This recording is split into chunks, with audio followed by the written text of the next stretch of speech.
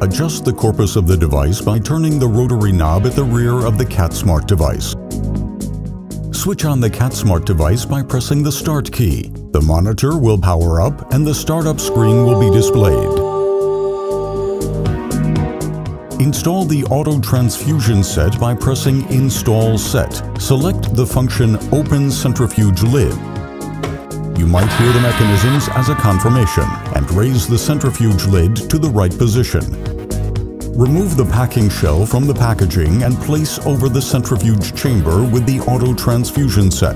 On the right side of the CatSmart device, there are special projecting elements for the packing shell on which the packaging tray can be placed. Remove the reinfusion bag and attach to the right IV pole. Remove the waste bag and attach to the right side of the CatSmart on the hooks provided for this purpose.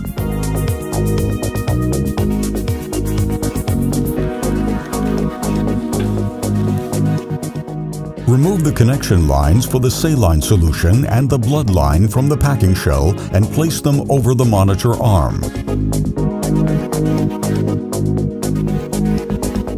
Remove the pump adapter with the centrifuge adapter and the washing chamber. Insert the washing chamber into the centrifuge rotator. Fit the centrifuge adapter until it clicks into place. Insert the pump adapter into the pump bed.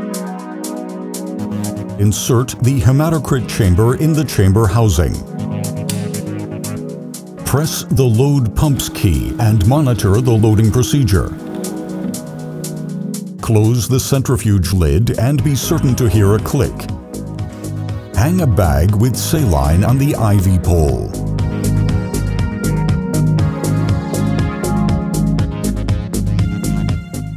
Connect the saline line by using the spike.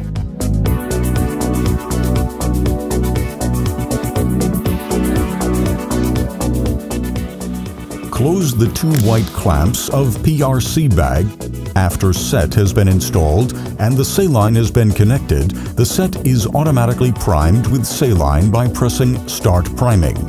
You may now monitor how the set is being primed.